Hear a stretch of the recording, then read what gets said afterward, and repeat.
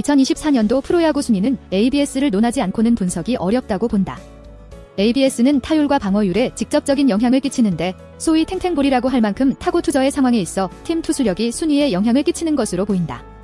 6월까지의 데이터를 기준으로 하여 팀 방어율은 삼성, 기아, LG, 두산의 순이며 이들은 모두 4강 안에 들어있다. 이중 삼성은 타율이 최하위임에도 3위를 유지하고 있다.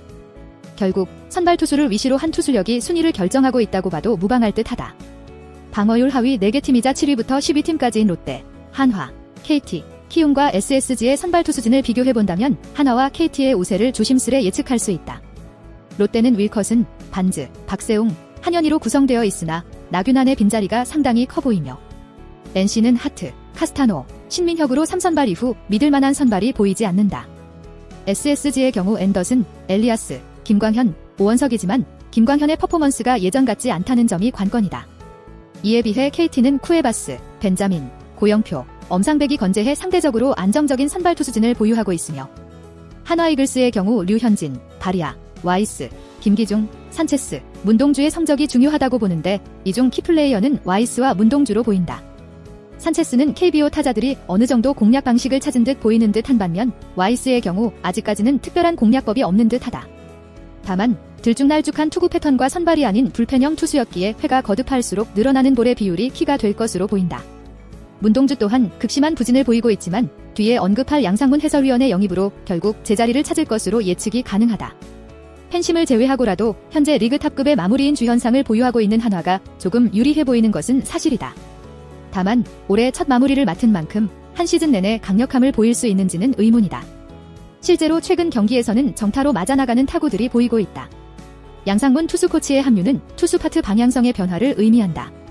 1군에서도 핵심 보직인 메인 투수 코치의 베테랑 지도자를 낙점한 것은 새로운 김경문 사단의 방향성을 볼 수 있다. 현재 한화 이글스의 팀 평균 자책점은 5.11로 리그 8위이며 불펜 자책점 또한 5.38로 하위권이다.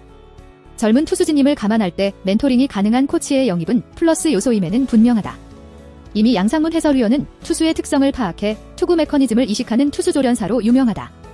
장원준 등 여러 성공 사례도 있다.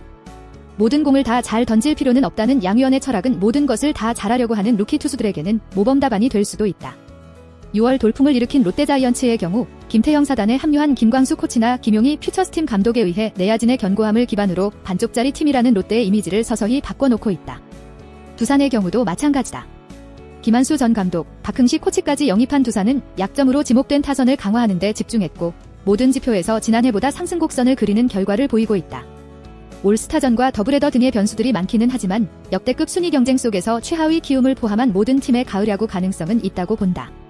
멀게는 관중의 증가만큼 상향 평준화된 현재의 프로야구의 하반기 성적이 가까이는 KT와 한화의 3연전이 궁금해진다. 늘 이야기하듯 아마추어적인 분석에 근거한 그림을 전제하며 한화 이글스의 선전을 못 빠져라 기원하는 한화 팬심이 듬뿍 들어간 영상임을 밝힌다.